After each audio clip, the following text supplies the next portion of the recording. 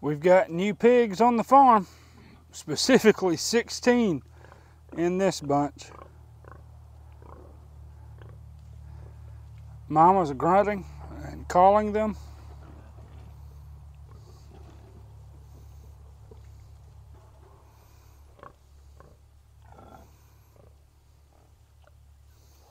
She's a really good mother.